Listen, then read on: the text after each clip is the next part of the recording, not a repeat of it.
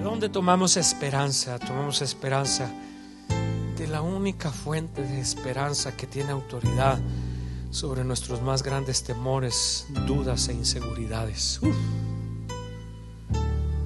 Se llama Jesús. Esa luz en medio de la oscuridad sigue brillando y sigue siendo nuestra esperanza. Jesús sigue siendo la respuesta para el alcohólico, el drogadicto, el divorciado, el ateo, el gnóstico. Según Jesús sigue siendo la respuesta. Y aquí lo llama y dice, sobre sus hombros llevará el principado. Será consejero, admirable, Dios fuerte, Padre eterno, príncipe de paz. Si lo que necesitas es paz, Jesús es esa paz. Aunque venga el río con fuerza mortal, aunque mis rodillas puedan flaquear, siempre estás conmigo, te siento. Si tú no estuvieses sería fatal, una vida absurda con triste final,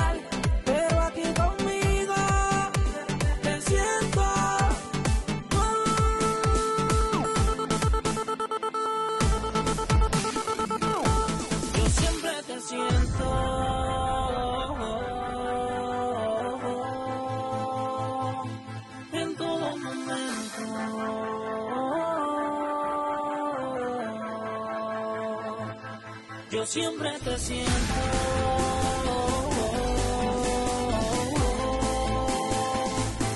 Como un aliento.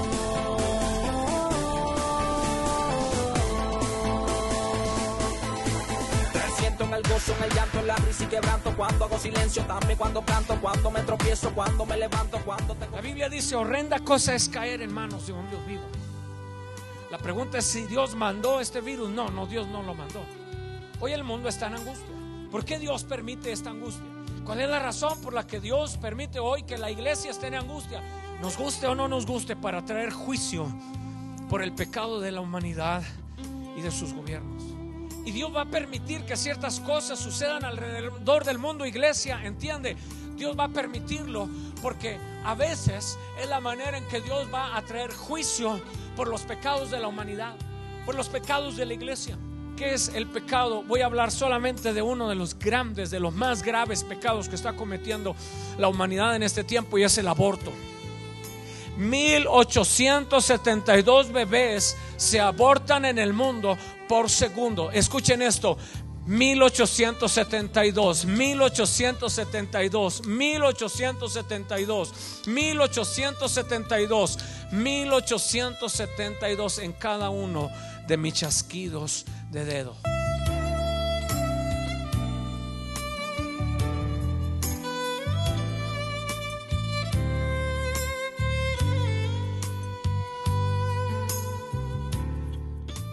Quiero compartir con ustedes una palabra y he titulado este mensaje La luz que brilla en medio de la oscuridad. Como subtítulo le he puesto tres cosas que debes tener presente durante una pandemia. Y la pregunta que surge casi siempre en medio de una situación de este tipo es la siguiente. La pregunta que surge en este, en este tiempo es ¿por qué? Y esa pregunta ha estado en, en medio de la humanidad siempre. ¿Por qué los niños pobres? ¿Por qué las guerras? ¿Por qué las enfermedades? Y la gente suele preguntarse que si por qué Dios los permite y que si por qué este tipo de situaciones tienen que suceder. Un filósofo muy antiguo hizo una pregunta filosófica que muchos la han utilizado para dudar de la existencia de Dios. Y ese filósofo dijo, si Dios era capaz de crear una piedra tan grande, tan grande, pero tan grande que después él mismo no la pudiera mover. Y el hombre suele preguntarse cosas así de ese tipo.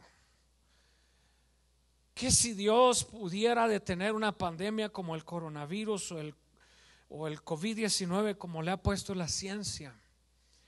Que si Dios puede impedir que la humanidad viva las hambrunas que vive allá en África, que si Dios puede prevenir las guerras. Y esas son preguntas que han existido siempre. La pregunta que yo quiero hacer no es si Dios tiene ese poder y esa autoridad para detenerla, sino cuáles son las razones por las que la permite. ¿Por qué es que la humanidad podría, está pasando hoy mismo por una situación tan trágica como COVID-19? ¿Por qué hoy en, en uh, lo que es Italia han muerto ya más, más de cuatro mil personas? ¿Por qué en Estados Unidos ya tenemos más de 10 mil infectados y más de 200 muertos, acercándonos ya a los 300 muertos? ¿Por qué Dios permite que este tipo de cosas sucedan? ¿Será que no tiene el poder para detenerlo o será que Dios tiene a la humanidad también en un proceso? Lo primero que tenemos que entender de Dios es lo siguiente.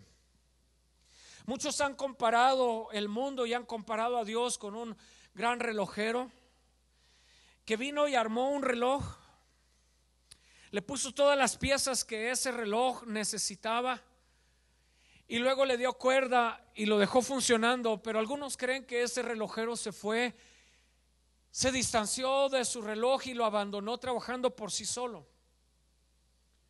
Otros, otros vemos a Dios como, como ese relojero que vino, armó esa pieza, ese reloj, le puso todas las, cada una de las piezas, el mecanismo para que funcionara lo dejó andando y todavía lo supervisa y todavía sabe lo que está sucediendo y todavía sabe cómo sucede, eh, funciona cada una de esas piezas. Dios creó la humanidad, Dios creó el universo y dentro de la creación del universo y de la humanidad creó lo que se llaman leyes naturales. Y esas leyes naturales el hombre las ha interpretado y el hombre las ha definido a través de la ciencia como las leyes de la física, algunas de ellas, la ley de la gravedad, que dice que si yo suelto este objeto desde donde está, por la ley de la gravedad y por una ley natural, este celular debe de caer y naturalmente lo hace. Es el relojero que dejó funcionando el mundo con una serie de leyes naturales para que el mundo funcione de una, de una forma normal. Ese mundo se corrompió en Adán y en Eva y entonces trajo el pecado sobre la humanidad y con eso trajo enfermedades y trajo dentro de los errores del ser humano leyes naturales. Y dentro de esas leyes naturales está la muerte. Dentro de esas leyes naturales está la enfermedad. Dentro de esas leyes naturales está todo lo que nosotros conocemos, que nos dé hambre, que nos dé sueño.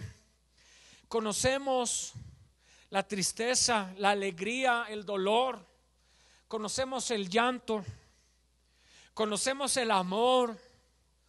Conocemos las relaciones afectivas entre amigos y familia. Todas esas son leyes naturales y funcionamos dentro de ellas todos los días y la iglesia de Cristo está dentro de esas mismas leyes naturales. Tenemos que conocer cómo funciona ese reloj que Dios dejó funcionando. Tenemos que darnos cuenta que ese reloj sigue ciclos de vida que tienen consecuencias de lo bueno que hacemos y de lo malo que hacemos. Y que dentro de esas leyes naturales funcionamos también los cristianos y que esas leyes naturales Dios las puede interrumpir y a esa interrupción temporal de leyes naturales las llamamos milagros. Y la mayoría de los milagros son interrupciones temporales de una ley natural. Y voy a decir la mayoría porque hay un milagro que, que sobrepasó lo temporal y es el milagro de la salvación. Pero los demás milagros, todos tienen una interrupción temporal. Cuando Dios sanó al ciego Bartimeo, La ley natural dice que este, este hombre, este joven había nacido ciego y que el resto de su vida iba a ser ciego.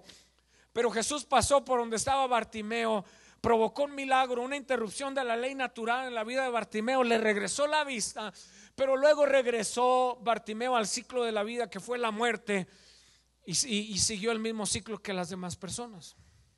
Jesús caminó sobre las aguas en el mar de Galilea en medio de una tormenta.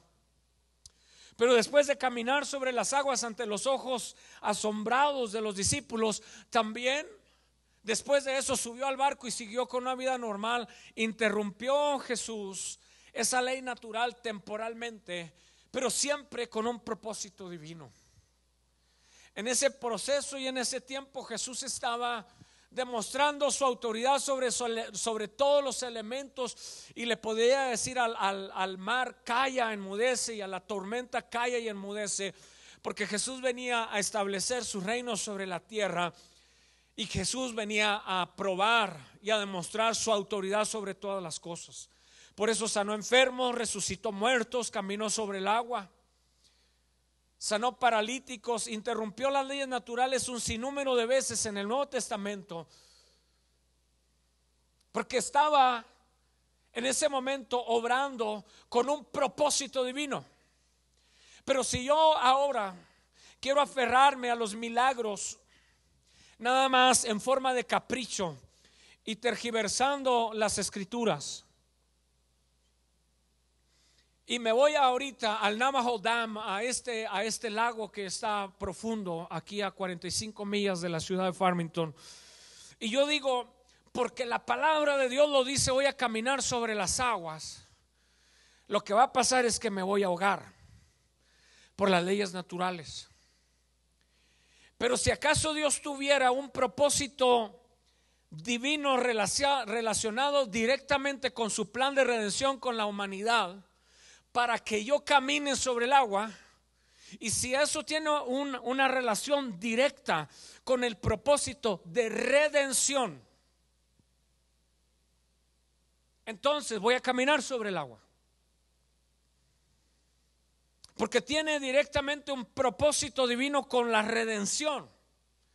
No con el capricho de un, de un pastor o de un llamado apóstol o de una persona que se atreve a, a hacer declaraciones infundadas porque asume que tiene una autoridad superior, pero no entiende que Dios opera los milagros, los prodigios y las maravillas en relación directa con su propósito de redención, con su propósito de salvación, porque Dios no tiene nada que demostrarte, ni a ti ni a mí.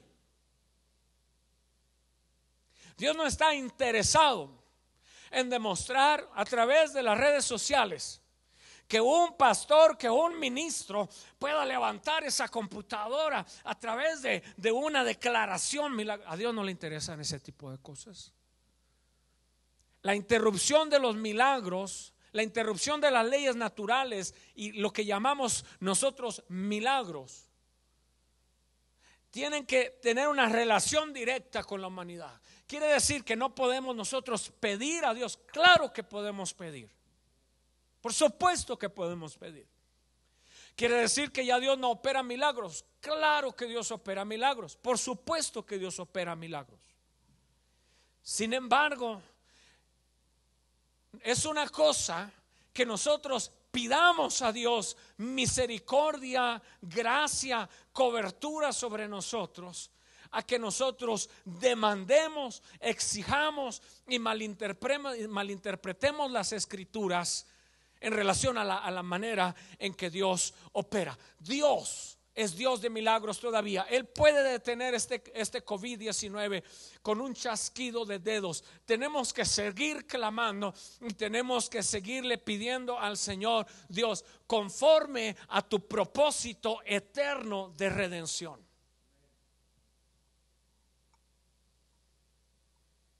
Así es como Dios opera los milagros. ¿Cuál es la primera razón? Bueno, la primera razón de la que quiero hablar es que Dios permite la angustia. Yo quiero ir primeramente a, a- a esta cita que está en Isaías. Yo quiero que usted me acompañe a, a esta cita bíblica de Isaías. Ya se me perdió Isaías.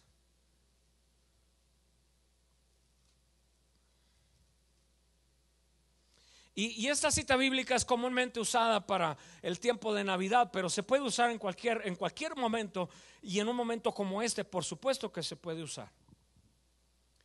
Y dice la escritura, pero no siempre habrá oscuridad para la que ahora está en angustia. Isaías 9, verso 1. Isaías 9, verso 1. Pero no siempre habrá oscuridad para la que ahora está en angustia. Atención. No siempre habrá oscuridad para la que ahora está en angustia. En los primeros tiempos las regiones de Zabulón y Neftalí fueron afligidas, pero en los últimos tiempos se llenará de gloria. Está hablando de Jesús, se llenará de gloria el camino del mar al otro lado del Jordán en Galilea de los gentiles. Y el pueblo que andaba en tinieblas vio una gran luz. Sí, la luz resplandeció para los que vivían en un país de sombras y de muerte. Y tú aumentaste el regocijo y acrecentaste la alegría. En tu presencia se alegrarán como se alegran durante la siega y como se regocijan cuando se reparten el botín. Tú quebraste el yugo y la vara que pesaban sobre sus hombros y el cetro que los oprimía como en el día de Madián. Quemado será todo calzado que lleva el guerrero en el fragor de la batalla. Pasto para el fuego será todo manto revolcado en sangre porque un niño nos ha, sido, nos ha nacido, hijo nos ha, ha sido concedido, y sobre sus hombros llevará el principado. Y su nombre será consejero admirable, Dios fuerte, Padre eterno y príncipe de paz. La extensión de su reino y la paz en él no tendrán límite. Reinará sobre el trono de David y sobre su reino y lo afirmará y confirmará en la justicia y el derecho. Y desde ahora y para siempre. Y esto lo hará el celo del Señor de los ejércitos. Volvemos al verso 1. Porque en el verso 1 dice, pero no siempre habrá oscuridad para la que está en angustia. Hoy el mundo está en angustia. ¿Por qué Dios permite esta angustia? ¿Cuál es la razón por la que Dios permite hoy que la iglesia esté en angustia? Vea este lugar. Vean hermanos este lugar. Tenemos una persona eh, en cámaras, en, luces, una persona en audio, y uno, dos, tres, cuatro, cinco, seis miembros del grupo de alabanza en un auditorio de este tamaño. Porque la iglesia está en angustia. Porque nos hemos unido a un proyecto nacional para impedir que este virus siga creciendo. Porque Dios lo permite? Número uno, Dios lo permite, Dios permite la angustia. Nos guste o no nos guste para traer juicio por el pecado de la humanidad y de sus gobiernos. Qué duro esto que acabo de decir. Pero es verdad. La Biblia dice, horrenda cosa es caer en manos de un Dios vivo.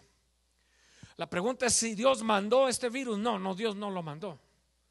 Dios lo permitió a través de las leyes naturales. Por eso expliqué todo ese asunto de las leyes naturales. Porque estamos expuestos a las leyes naturales, todo el mundo. Los virus, las bacterias, las enfermedades, el diabetes, el cáncer, los accidentes, las guerras, los golpes, los accidentes de trabajo. Estamos expuestos todo el tiempo. Y Dios va a permitir que ciertas cosas sucedan alrededor del mundo, iglesia, entiende. Dios va a permitirlo porque a veces es la manera en que Dios va a traer juicio por los pecados de la humanidad, por los pecados de la iglesia. Quiero dar unas estadísticas así bien rápido y, yo, yo doy gloria a Dios por las redes sociales porque este video se va a quedar grabado y, mucha gente lo va a poder mirar después. ¿Qué es el pecado? Voy a hablar solamente de uno de los grandes, de los más graves pecados que está cometiendo la humanidad en este tiempo y es el aborto. Entre 40 y 50 millones de bebés han sido abortados, son abortados en el mundo, escuchen, cada año.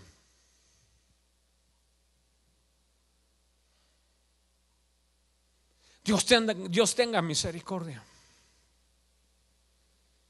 Repito las estadísticas, entre 40 y 50 millones de personas son, de bebés son abortados en el mundo cada año. La Organización Mundial de la, Salud, habla de 40 y algo de millones, pero los números se podrían extender hasta 50 millones. 112 mil bebés por día se abortan alrededor del mundo. 1872 bebés se abortan en el mundo por segundo. Escuchen esto. 1872, 1872, 1872, 1872, 1872 en cada uno de mis chasquidos de dedo. Y mientras estamos predicando aquí la palabra, cada vez que yo hago un chasquido de dedos, 1872 bebés alrededor del mundo están siendo abortados. Nada de eso pasará desapercibido ante los ojos de Dios. Ninguno de estos chasquidos de dedos dejan de oírse delante de la presencia del Dios cuando los doctores, las enfermeras, aquellos que juraron, que hicieron el juramento de Hipócrates de salvar la vida, están desgarrando a los bebés en el vientre de su madre. 1872 bebés, cada vez que mi, mi dedo está sonando, asesinos en los hospitales y en las clínicas están matando bebés. Mujeres que defendiendo su propio derecho y su propio bienestar han ignorado el asesinato que significa el aborto. 1872 bebés cada vez que he hecho un chasquido de mis dedos.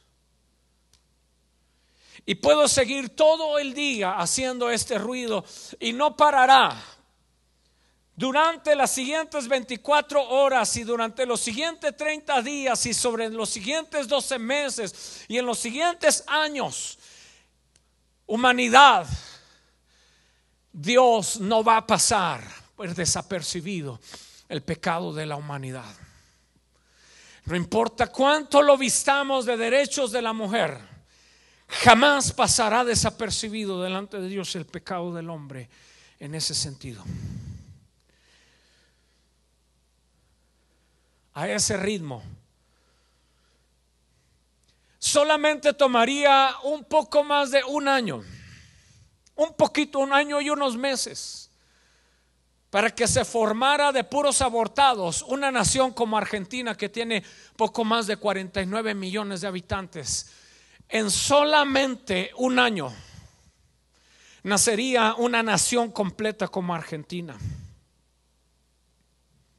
México tiene 128 millones de habitantes, lo cual quiere decir que solamente tardaría un poquito más de tres años en formarse una nación entera como la de México. México tiene más de 400 años de haberse, de haberse formado como nación, desde que llegaron los españoles en 1492. Wow. Y en tres años, con puros bebés abortados, un poquito más de tres años, formaríamos una nación como la de México. Estados Unidos tiene 330 millones de habitantes, así que solamente nos, nos tomaría 5 por 4, 20, 6 por 4, 24, unos 7, 8 años.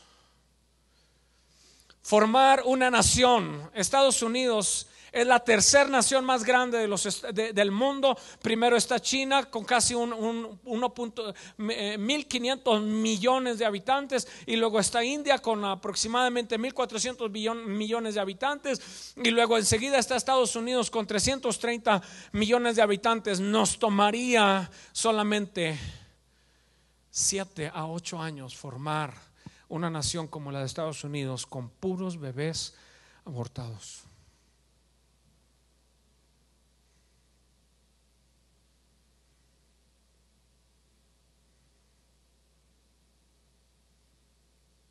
¿Pasará Dios por ap- desapercibido esta, estas atrocidades de la humanidad? No, no, no, no, no. Si nos preguntamos por qué este tipo de cosas vienen a la tierra, ahí está la respuesta. El relojero dejó el reloj funcionando, dejó leyes naturales y nuestra inconsciencia y la inconsciencia de los gobiernos y de nuestros legisladores y de nuestros gobernantes que han aprobado esas leyes sean reprendidos en el nombre de Cristo Jesús y sean removidos de sus puestos, porque son ellos y los grupos de interés quienes han ocasionado todas estas tragedias por el pecado de la humanidad. Pero la gente sigue votando por ellos, ¿no es cierto? Pero la gente sigue votando por políticos, por senadores, por diputados que abiertamente en la televisión salen. Y luego queremos ir a, nuestras iglesias a cantar y levantar alabanzas al Señor. Y ahora que el COVID-19 está invadiendo el mundo, ahora sí estamos clamando al Señor, pero hemos votado por políticos corruptos. Pero hemos votado por políticos que no merecen estar ahí.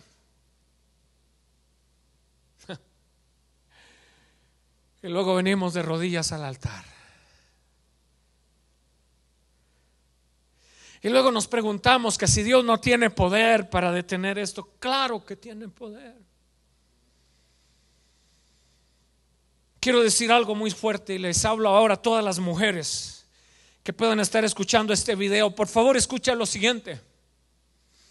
Los derechos a decidir de los que hoy tanto se habla en los gobiernos y en los medios de comunicación de la mujer para decidir sobre su propio cuerpo es una manipulación de grupos de interés que han sido creados por élites del gobierno, por élites poderosas de la sociedad, para manipularte mujer, para hacerte creer que es tu derecho, pero te están utilizando para poder matar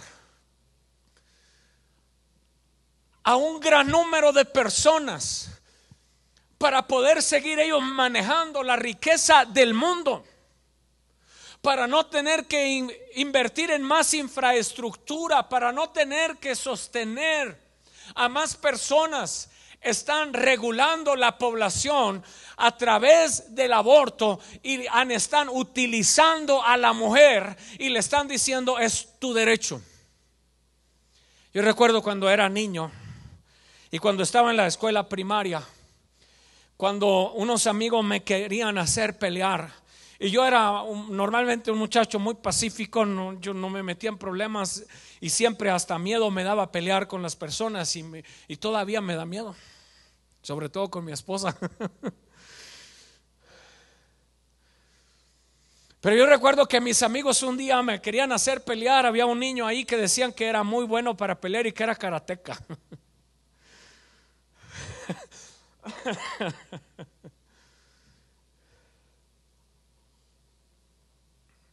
Y entonces me llevaron y me pusieron ahí frente a él y luego y empezaron a asusarnos uno contra el otro, ¿verdad? Y a decir a que no le ganas. Y a que no le ganas. Y, y a ver, a ver, y, y luego ponían la mano así enfrente y decía que, el que escupa primero. ¿Verdad? Y, y bastaba que uno de los dos que escupiera y luego quitaban la mano y, le caía la escupida en la cara al, al otro y, provocaban una riña. Yo recuerdo cuando yo era niño me pusieron frente a ese, a ese muchacho ahí y, dijeron a que no le ganas y que mira que no eres que no eres hombre y que eres bien cobarde y a que no te atreves a pelear con él y, me fueron calentando el ánimo y me fueron calentando las ganas de pelear y, cuando menos pensé ya estaba yo peleando, me iba trenzado porque, porque estos otros me asusaron y crearon. Eso es lo que están haciendo con las mujeres. Respetamos rotundamente a la mujer, por supuesto. El hombre no es mejor que ella. Solamente somos compañeros de vida, que hay muchos barbajanes que, que- que abusan de ellas. Por supuesto que hay muchos barbajanes. A esos hay que meterlos en la cárcel, a esos hay que penalizarlos, a esos hay que sacarlos de ahí del hogar si están maltratando a la mujer. Por supuesto que hay que hacerlo. No miramos a la mujer como un objeto sexual, por supuesto que no. No miramos a la mujer como un objeto para tener hijos. Esos son inventos. Eso les hicieron creer a las mujeres para que se levanten ahora las feministas a cometer toda clase de barbaridades. Mujer, te están utilizando, te están asusando contra el hombre, te están asusando contra un fruto que es sagrado de tu vientre. Y los políticos y los grupos de interés te han hecho creer, te están diciendo, vamos, es tu derecho, reclama tu derecho, es tu cuerpo, tú decides, te están utilizando porque quieren eliminar una buena parte de la humanidad. Y lo están haciendo para balancear la población del mundo a sus propios caprichos. Detén el aborto, no dejes que siga avanzando y sucediendo porque te están utilizando y te están manipulando a través del gobierno y a través de las leyes aprobadas por los gobiernos y esos grupos de interés y te hacen creer que es tu derecho. Pero están balanceando a la humanidad. Estados Unidos tiene 300, un poco más de 330 millones de habitantes. En Estados Unidos se han abortado más de 60 millones de bebés del año de 1973 a la fecha. 60 millones. Si hoy se formara una nación con esos 60 millones abortados, nada más aquí dentro de los Estados Unidos, hoy esa sería la nación número 24 más poblada alrededor del mundo de más de 200 naciones. Hoy se formaría una nación del tamaño de Italia, solamente con los bebés abortados de aquí, dentro de los Estados Unidos. En los años, en los años 1990 se llegaron a aportar casi 1.5 millones de bebés por año. Casi 1.5 millones de bebés por año. Gracias a Dios ya ahorita viene cayendo. Pero se alcanzó el aborto en los Estados Unidos, 1.5 millones de bebés por año. Estados Unidos, escucha, Dios no va a pasar por alto ese pecado. Que si por qué COVID-19 llega- porque esa ley natural Dios la va a dejar correr para hacernos pensar en situaciones de este tipo. Llámale derechos, llámale justicia social, llámale como quiera. Dios lo llama pecado y lo llama asesinato intencional.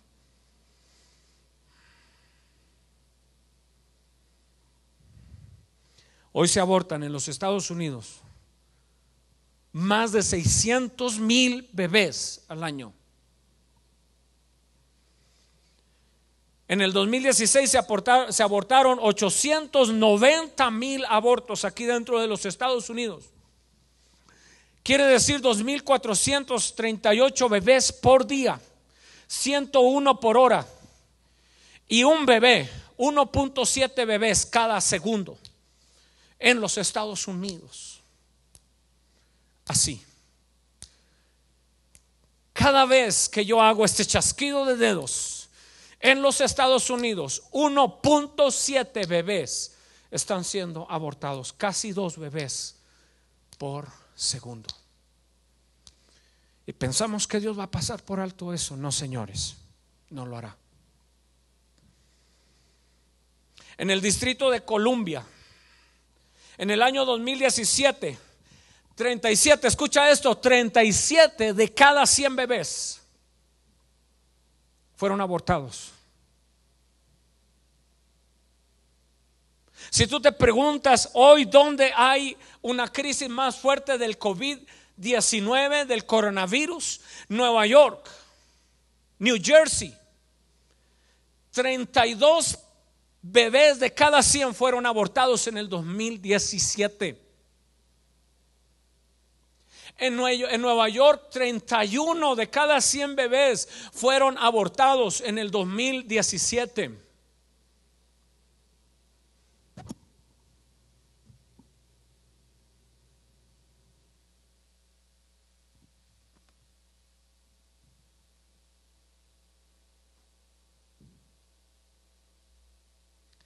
18% de todos los de todos los embarazos son abortados intencionalmente. No estamos hablando de abortos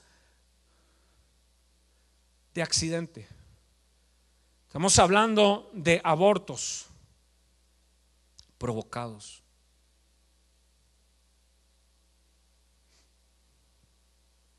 Hermanos, amigos allá en las redes sociales, Dios no está ni ciego ni sordo. La Biblia dice que sus ojos miran por sobre toda la faz de la tierra. ¿A dónde huiré de tu presencia? Dice la escritura. Si subo a los cielos, allá estás tú. Si bajo a lo profundo de la tierra, allá estás tú. Si me voy a lo profundo de la mar, allá estás tú. Nada de lo que el hombre ha hecho pasará desapercibido delante de los ojos de Dios. Así que Dios trae, permite que la angustia, esta angustia de la que nos habla, pero no siempre habrá oscuridad para la que ahora está en angustia. Dios permite esa angustia y Dios permite esa ley natural operar, porque a través de eso Dios está diciéndole a la humanidad, no voy a pasar por alto lo que estás haciendo. Número dos, Dios permite la angustia cuando deja al ser humano enfrentar las consecuencias de sus propios errores. Dios permite la angustia cuando a través de eso va a traer juicio, pero Dios permite la angustia cuando Dios deja al hombre enfrentar las consecuencias de sus propios errores. En los 1980, en lo que antes era la URSS, lo que actualmente es Ucrania, Hubo una gran explosión de una planta nuclear en Chernobyl. 30 kilómetros a la redonda de esa explosión. Uno de los reactores nucleares explotó por unas pruebas, unos errores que cometieron allí al, manipular los elementos nucleares. Y hubo una gran explosión. Y se provocó una radiación cancerígena alrededor, 30 kilómetros, toda una ciudad hasta el día de hoy está inhabitada. De todos los trabajadores de la planta de Chernobyl murieron. Muchos de ellos enfrentaron cáncer después, los niños tuvieron cáncer en sus gargantas. Hasta el día de hoy se estima que van a pasar 20 mil años, escuche, 20 mil años hasta que esa tierra pueda ser habitada por humanos otra vez. Si es que llegamos hacia allá, porque no creo, Cristo viene pronto. Y cualquiera puede preguntarse y decir, bueno, ¿por qué Dios permitió eso? Porque Dios eh, deja al hombre enfrentar las consecuencias de sus propios errores. Porque Dios deja a los, Dios deja, Dios permite que la ley natural de los gobiernos corruptos que se roban el dinero provoque pobreza y los niños tengan hambre porque los gobiernos se embolsaron el dinero e hicieron transacciones ocultas por debajo de la mesa y en lugar de provocar y de, en lugar de, ayudar a los pobres y de, de crear justicia y paz en las naciones, buscan su propio bienestar y los errores que el gobierno comete, entonces ahora el ser humano los tiene que confrontar y los tiene que enfrentar. Esa es la segunda razón por la que Dios permite que vivamos en angustia. La tercera razón, Dios permite la angustia para obtener la atención del ser humano. Dios permite que cosas como esta y otras cosas sucedan en los años 1930. Oiga, vino una crisis de eh, un, un- quebrantamiento financiero sobre los Estados Unidos y el mundo. Y la gente literalmente lo que te recibía de regalo de Navidad era a veces una naranja. Había que racionar el arroz y, nada más se le permitía comprar cierto número de arroz y se le permitía comprar nada más ciertos litros, ciertos litros de gasolina y se permitía nada más todo racionado. ¿Por qué? Por los errores de, una, de, gobiernos, por la ambición de grupos de interés creados alrededor del mundo. ¿Qué hizo la iglesia durante ese tiempo? Volver a Dios.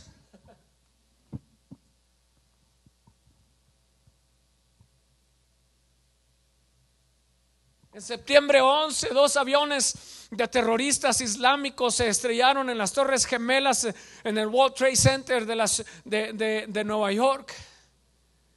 Se estrellaron y se conmocionó el mundo. Otro avión se estrelló allá en el Pentágono y otro cayó en otro lugar. Y el mundo, la siguiente semana las iglesias estaban llenas. que tendrá Dios que utilizar el terrorismo y tendrá que utilizar los corazones perversos de terroristas extremistas para llamar la atención de la iglesia. Tendrá que Dios dejar correr la ley natural del COVID-19 por la manipulación de gérmenes y por la manipulación de, de- de virus y la manipulación de animales y las mezclas raras de animales que hoy se hace a través de la tecnología para captar la atención de la iglesia.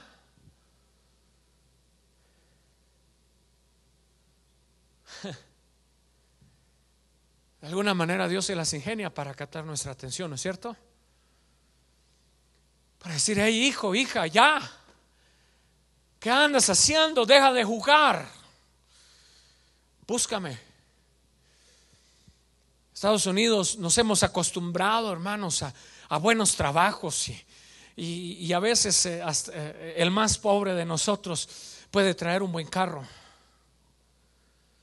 Y nos hemos acostumbrado a ir a los, a los dealers de los carros y, y ir y, y poner una firma en un papel y endeudarnos con 15, 20, 50 mil dólares por un carro que no necesitamos. Y luego utilizamos ese carro para irnos a pasear y faltar quién sabe cuántas veces al año a la iglesia. Bendito sea Dios y Dios tenga misericordia de nosotros. Porque a veces tendrán que venir tiempos como estos en los que tendremos que aprender a comprar solamente lo necesario, un costal de frijol, un costal de papas, aceite, un poco de harina y clamar al Señor que no se nos vaya a acabar el agua. Para entonces clamar al Dios de los cielos y decir, ayúdanos. ¿Será que es necesario que Dios haga a la iglesia venir a esto?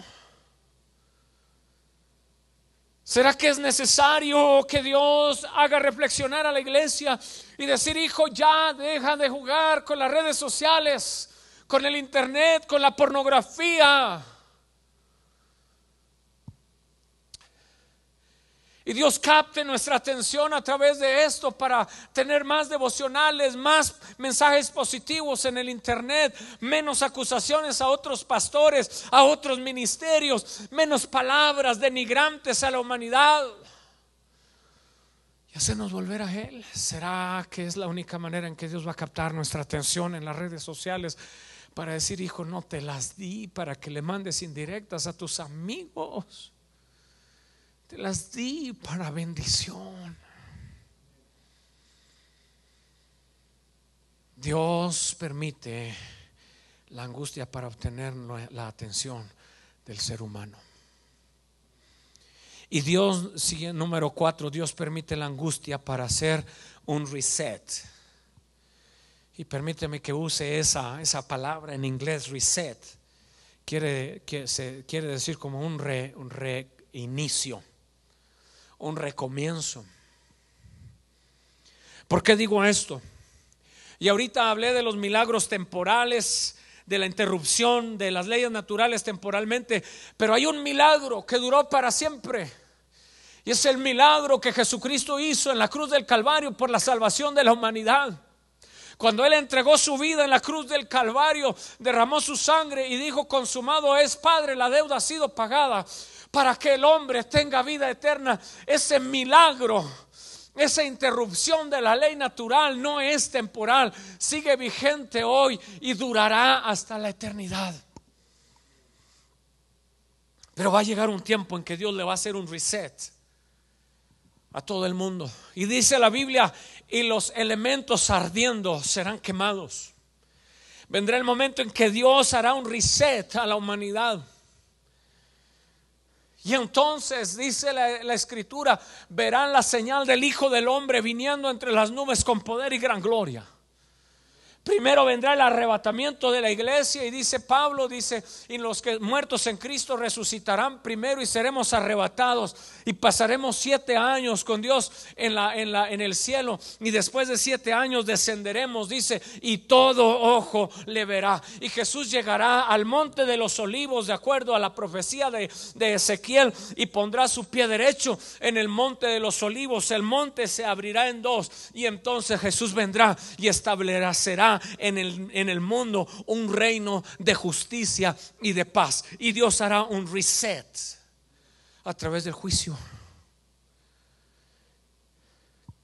¿Qué vendrá antes del reset de Dios?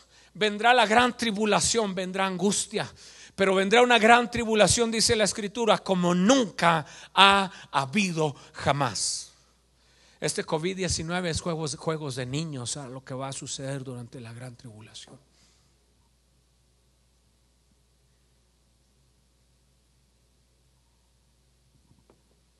Hoy nos preocupan los números de infectados. Durante el tiempo de la gran tribulación, olvídese, eso será un caos total. Hmm. Déjeme avanzar el mensaje para pasar a las buenas noticias, porque me imagino que ahora muchos estarán diciendo, uy, ¿para qué prendí el video?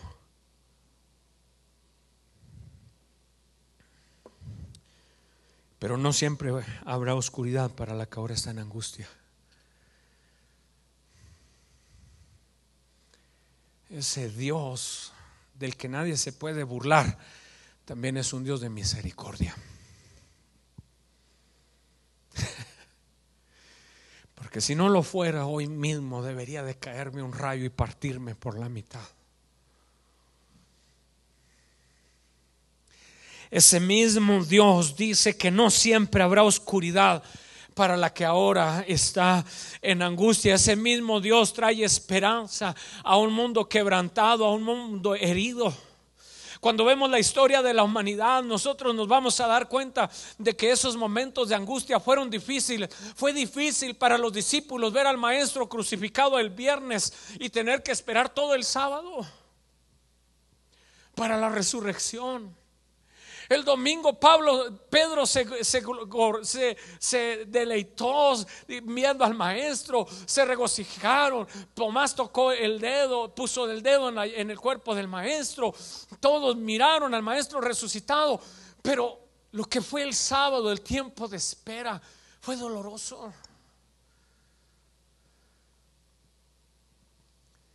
¿Por qué? Porque en la oscuridad no dura para siempre, pero tenemos que aprender a esperar. Pronto va a pasar, alguien dice, amén, allá en las redes sociales, pronto el coronavirus se va a ir, pronto el COVID-19 va a desaparecer como han desaparecido muchas otras de las pestes. La Primera Guerra Mundial comenzó en 1914, se terminó en 1918 y 15 millones de personas murieron. Esperar 15 millones de vidas perdidas para que terminara. Qué duro.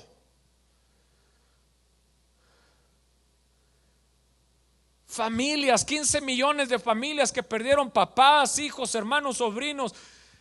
15 millones fue la espera del día sábado de los discípulos. Llegar del sábado a la victoria, del viernes a la victoria del domingo, implica saber esperar en el tiempo de la prueba.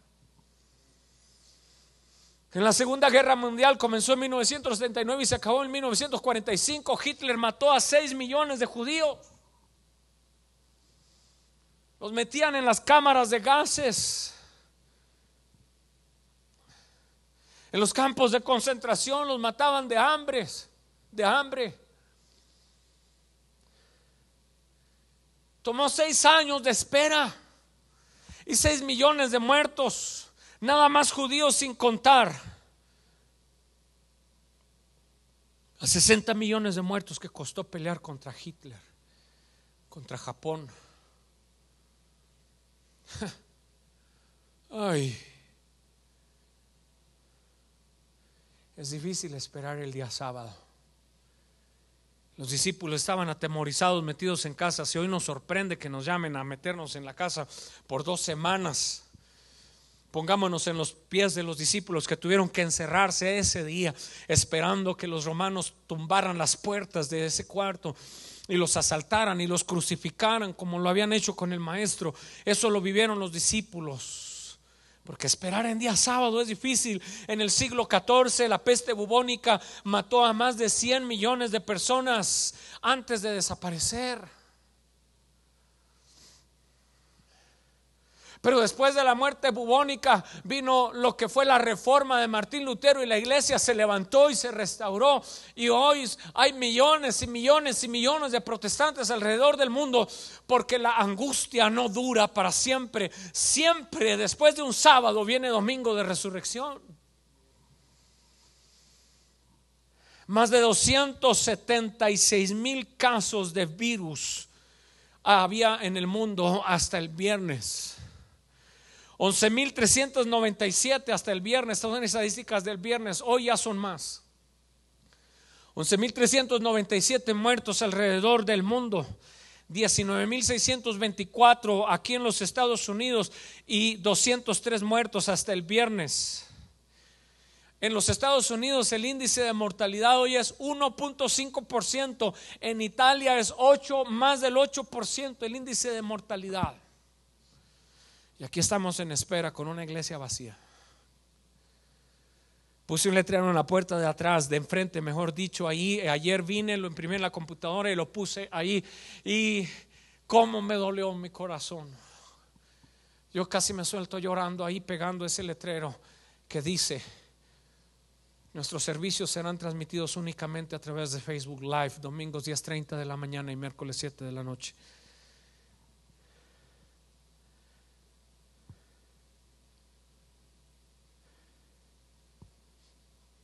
Y gracias a Dios que no estamos en persecución porque ni siquiera eso hubiera podido poner. Y ni siquiera podríamos estar aquí, este grupito de personas y este grupo de alabanza tan hermoso que tuvimos hoy si estuviéramos en persecución. ¿Cómo duele esperar el día sábado para llegar el domingo? La gripe española de 1917 a 1920 mató entre 20 y 40 millones de personas antes de desaparecer. El flu, que se originó en los Estados Unidos, pero se propagó fuertemente en España. Si hoy nos preocupa que haya 11 mil muertos, imagine ese tiempo, esa gente que ya había más de 40 millones de muertos.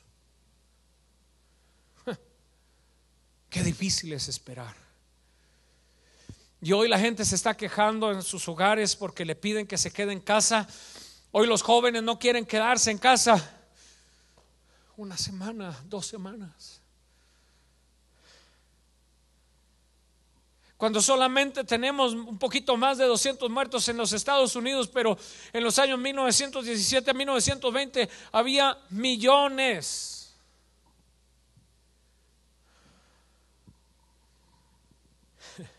Qué difícil es esperar el día sábado. Pero no siempre habrá oscuridad para la que ahora está en angustia. Porque la respuesta sigue siendo Jesucristo. Tenemos que clamar a Dios. Porque de Dios tenemos la promesa de un futuro mejor. En el verso 1 ven adelante dice, en los primeros en los primeros tiempos Las regiones de Zabulón y Neftalí fueron afligidas, pero en los últimos tiempos se llenará de gloria el camino del mar. Dios siempre un Dios, es un Dios de esperanza. Detrás de cada sábado Dios tiene preparado un domingo. Detrás, detrás, no, detrás de cada noche oscura Dios tiene preparada una gloriosa mañana. Detrás de 400 años de silencio ah, del Antiguo Testamento Dios tiene preparada la llegada del Mesías en el Nuevo Testamento. Es el Dios de la esperanza. Levanta tu rostro. Dice la escritura, cuando estas cosas comiencen a, suceder, erguío, levanta tu, levantad vuestras cabezas, porque vuestra redención está cerca. Tenemos la promesa de un futuro glorioso y no debemos de olvidarlo. Sí es cierto, Dios traerá juicio sobre la humanidad. Sí es cierto, Dios trata de llamar nuestra atención, pero también es cierto que servimos y vivimos y adoramos a un Dios de misericordia. Y a un Dios que siempre trae esperanza a la humanidad. En Isaías acabamos que leer y dice, y el pueblo que andaba en tinieblas vio gran luz. Dice, y tú aumentaste el regocijo. Yo creo que la iglesia, después de que el coronavirus pase, ya no va a ser la misma. Yo creo que volverá el regocijo a la iglesia y el que no quería adorar, ahora sí va a adorar. Y el que no quería brincar, ahora sí va a brincar. Y el que no quería danzar, ahora le van a faltar pies para danzar. Porque volverá el regocijo. Dice, y en tu presencia se alegrarán. Tú quebraste el yugo. Dios va a romper ese yugo del coronavirus, del, del COVID-19. Dios va a romper el yugo del temor en nosotros.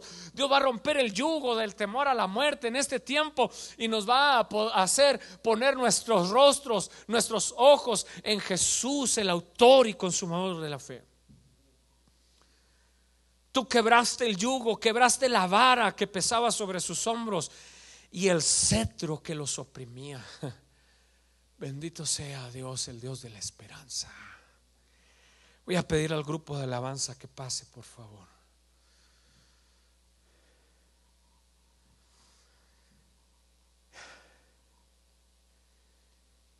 ¿De dónde tomamos esperanza? Tomamos esperanza de la única fuente de esperanza que tiene autoridad sobre nuestros más grandes temores, dudas e inseguridades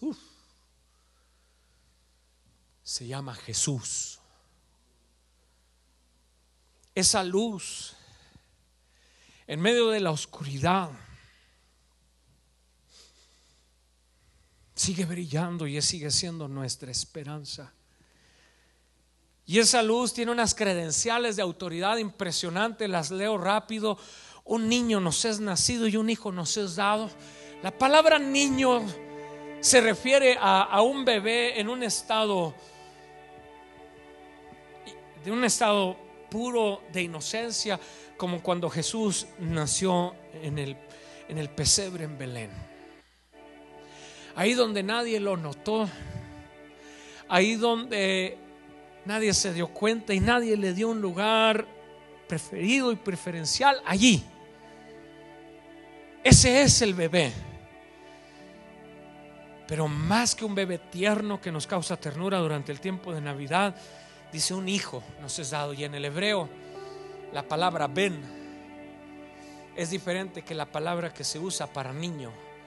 Porque la palabra ben nos habla de un hijo en su concepto total, completamente formado de conciencia, de alma, de espíritu, de cuerpo.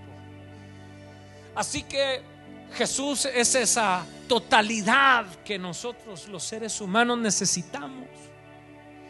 Un hijo nos es dado. Esa es la fuente, esas son las credenciales de la esperanza que nosotros tenemos. Nos ha sido dado un hijo. Jesús es la respuesta para tus temores, para tus dudas, para tu miedo, para tu inseguridad, para tu pecado, para tu condición presente, para el coronavirus, para todo este asesinato que ha cometido la humanidad con millones y millones de bebés alrededor del mundo. Jesús sigue siendo la respuesta para ti, mujer, que ya abortaste uno, dos, tres o diez. Jesús sigue siendo la respuesta para el alcohólico, el drogadicto, el divorciado, el ateo, el gnóstico. Según Jesús sigue siendo la respuesta. Y aquí lo llama y dice, sobre sus hombros llevará el principado. Será consejero, admirable, Dios fuerte, Padre eterno, príncipe de paz. Si lo que necesitas es paz, Jesús es esa paz.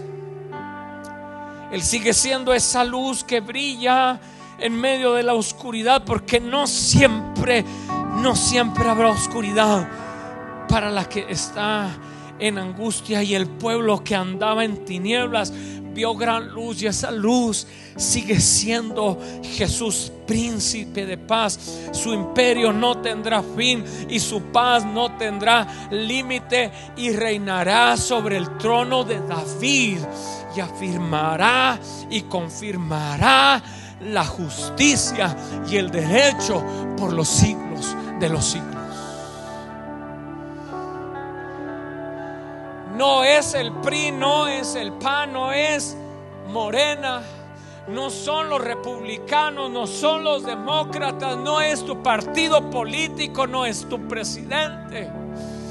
El que traerá justicia y paz es Jesucristo. No es la vacuna del coronavirus. No es el descubrimiento científico médico que lo sanará. Porque después del coronavirus llegará otro coronavirus. Quizás Dios lo reprenda en el nombre de Jesús.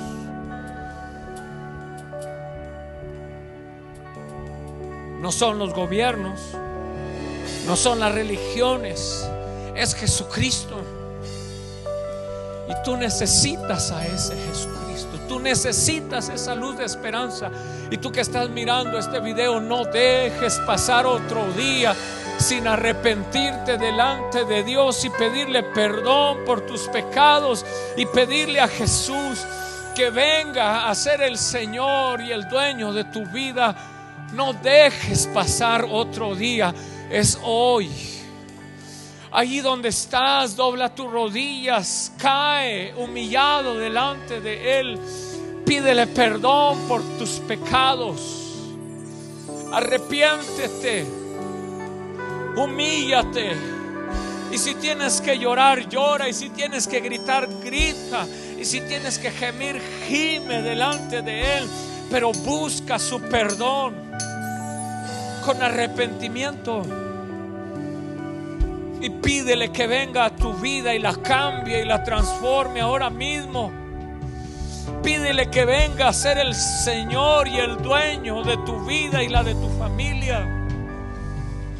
Y entonces experimentarás una paz que jamás había sentido. Como resultado tu nombre será escrito en el libro de la vida. Como resultado vendrás a un nuevo tiempo y a una nueva vida en Cristo Jesús, porque no siempre habrá oscuridad para el que está en angustia.